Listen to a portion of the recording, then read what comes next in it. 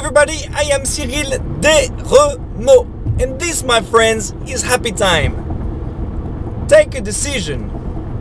Today, three words again take a decision. There are many times we don't take decisions.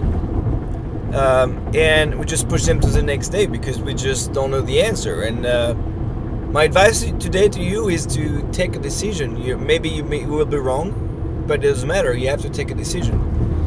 Um, that's part of my role as a general manager for the company. I have to take decisions. You know, maybe every day you have to take 15, 20, 20 decisions. Some are small and easy, some are harder and, and uh, more difficult. And uh, of course, the difficult one, you don't want to, to go too fast and you want to take the right decision. But most of the decisions are, you know, that if you if you ch- really choose something in one week, you probably could have chosen the same decision the same day. And I had the best teacher. Best teacher was Vincent, my old boss. He would do everything right away. You know, he would think about it.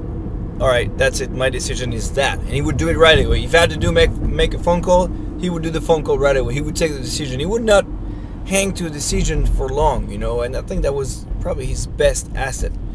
Really take a decision, take action. Oh, that was amazing. So, if you have to take a decision, think about it right now and do it. Take a decision. Aloha.